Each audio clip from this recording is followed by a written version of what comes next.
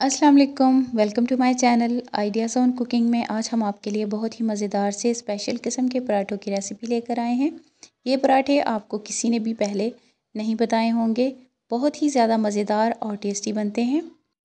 और इन पराठों को बच्चे बड़े जो हैं, वो दोनों ही बहुत ज़्यादा शौक़ से खाते हैं, बनाना बहुत ही ज़्यादा आसान है। अगर आपको मेरी आज की ये रेसिपी पसंद आए तो मेरे चैनल को सब्सक्राइब कीजिएगा लाइक कीजिएगा और अपने फ्रेंड्स एंड फैमिली के साथ भी ज़रूर शेयर कीजिएगा। तो चलिए आइए इन पराठों को बनाना स्टार्ट करते हैं।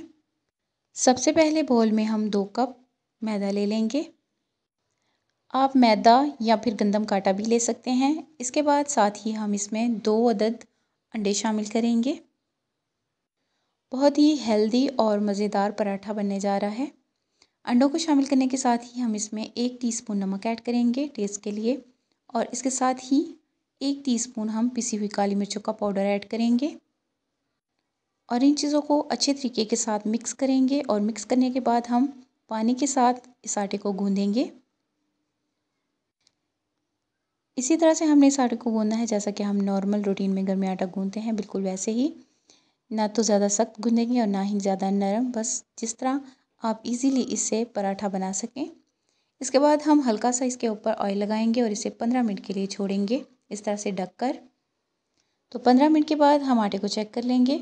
आटा जो है वो बिल्कुल सेट हो चुका है। इसके बाद हम इसे बॉल से निकाल लेंगे और थोड़ा सा खुश्क आटा डस्ट करेंगे शेफ के ऊपर और इसके ऊपर इस तरह से इसे रख कर हम इससे पेड़े बनाएँगे। एक साइज़ के हमने इससे पेड़े बना लेने हैं।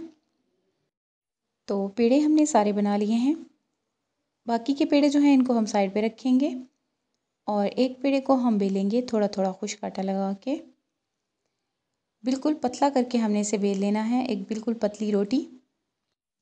तो रोटी जो है इसे हमने बिल्कुल पतला करके बेल लिया है। इसके बाद हम इसके ऊपर घी लगाएँगे और अच्छे तरीके के साथ इस रोटी के ऊपर घी को फैलाएँगे। आप ऑयल भी लगा सकते हैं। लेकिन घी के बहुत ही मज़ेदार और क्रिस्पी पराठे बनते हैं। इसके साथ ही थोड़ा सा ग्रीन गार्लिक जो है इसके ऊपर हम डालेंगे। बिल्कुल बारीक बारीक कट करके। और इसके बाद हम इस तरह से इसे कवर करेंगे और इससे फिर से पेड़ा बना लेंगे। देखिए, इस तरह से बहुत ही इजी तरीके के साथ आप पेड़ा बना लें और इसके बाद इसे कवर करके इस तरह से रखें। सेम इसी तरीके के साथ बाकी के जो पेड़े हैं, इनको भी बना कर रखेंगे। कम अज़ कम पाँच मिनट के लिए हमने इनको रेस्ट देना है ताकि पेड़े जो हैं, वो हमारे अच्छे तरीके के साथ सेट हो जाएँ। और अगर आप इसमें लच्छे चाहते हैं तो इस तरह से आप बीच में भी इसके घी लगाकर इस तरह से फोल्ड कर सकते हैं इन पेड़ों और अगर आप इसमें लच्छे चाहते हैं तो इस तरह से आप बीच में भी इसके घी लगाकर इस तरह से फ़ोल्ड कर सकते हैं इन पेड़ों को। तो आपके सामने पेड़े जो हैं, ये हमने सारे ही बना लिए हैं और पाँच पाँच मिनट के लिए हमने इन सबको रेस्ट दिया है। इसके बाद बाकी के जो पेड़े हैं, इनको हम साइड पे रखेंगे और एक पेड़े को लेकर हम हल्का हल्का हाथ के साथ बेल लेंगे। थोड़ा थोड़ा खुश आटा लगा के हाथ के साथ इस तरह से करके आप इसे बेल लें या फिर बेलन के साथ। हल्के हाथों के साथ आप बेलन चलाएँगे। ताकि इसके जो लच्छे हैं, ये ख़राब ना हों।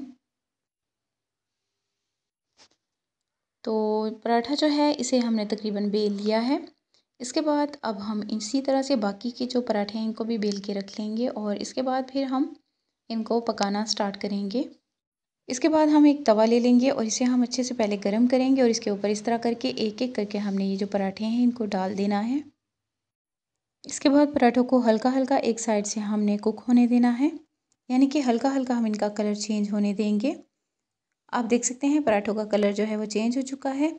इसके बाद हम इनकी साइड जो है इनको चेंज करेंगे और इसी तरह से दोनों तरफ़ से हमने इनको हल्का हल्का पहले पका लेना है। तो आपके सामने हमने पराठे जो हैं इनको पहले हाफ़ कुक किया है दोनों साइडों से। इसके बाद अब हम इनके ऊपर घी लगाएँगे और घी लगाने के बाद हम इनको अच्छे तरीके के साथ फ्राई कर लेंगे। आप ऑयल में भी इन पराठों को बना सकते हैं, लेकिन घी में बनाए गए पराठे जो हैं वो बहुत ही ज़्यादा मज़ेदार और क्रिस्पी बनते हैं। हल्की आँच पर ही हमने इनको पकाना है ताकि ये जो पराठे हैं हमारे अंदर तक पक जाएँ। तो आप देख सकते हैं कितना प्यारा प्यारा सा इनके ऊपर कलर आ चुका है। बहुत से ऐसे लोग होते हैं जिनको सुबह नाश्ते में खाली पराठा पसंद नहीं होता तो आप इस तरह से बना के ख़ुद भी खा सकते हैं, अपने बच्चों को भी दे सकते हैं। और बिना सालन के इसी तरह से आप इस पराठे को बनाएँ और चाय के साथ लें। तो यकीन माने बहुत ही टेस्टी और मज़े का लगेगा। और घर में जो बच्चे बड़े हैं, सब बहुत ही ज़्यादा शौक़ से खाएँगे। तो आप इस पराठे को एक बार ज़रूर ट्राई कीजिएगा।